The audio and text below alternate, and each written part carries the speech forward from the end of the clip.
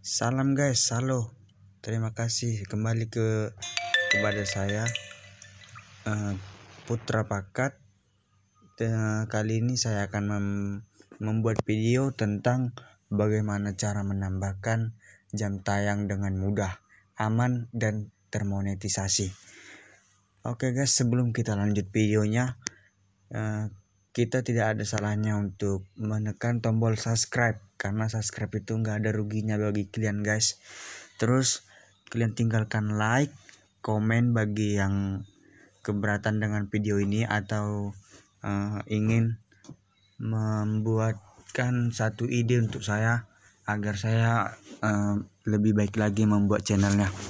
Oke kita lanjutkan. Pertama-tama kalian buka uh, aplikasi YouTube.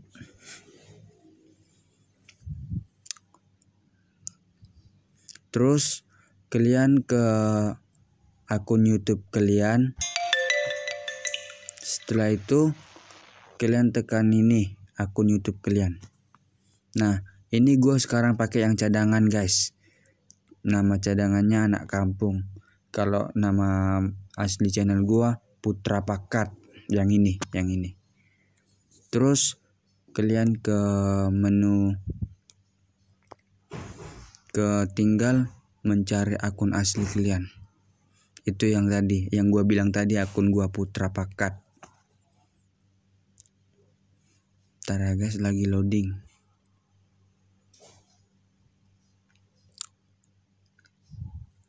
Hmm, tapi guys uh,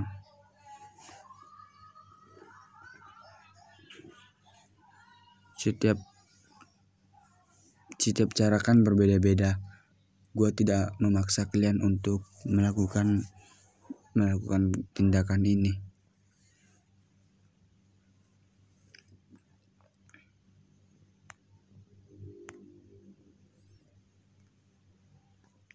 Mau terputus guys. Wifi nya lelet. Nah ini kan akun youtube gua tadi. Tinggal klik baru tinggal kita pilih video mana yang mau ditambahkan jam tayangnya. Gue pilih yang banyak penontonnya aja guys.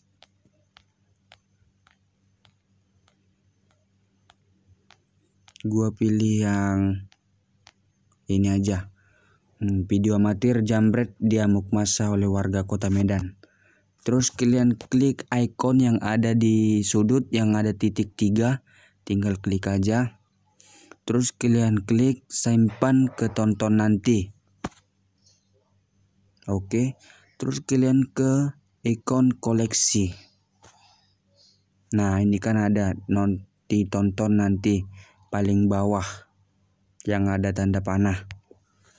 Tinggal klik terus kalian tinggal klik video yang tadi yang mau ditonton nanti.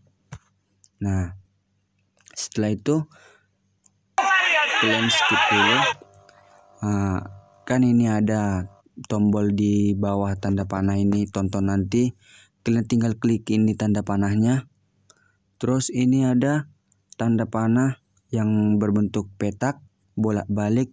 Kalian tinggal klik ikonnya aja.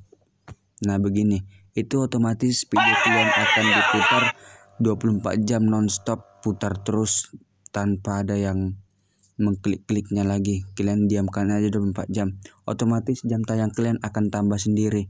Tapi ingat guys dengan menggunakan akun cadangan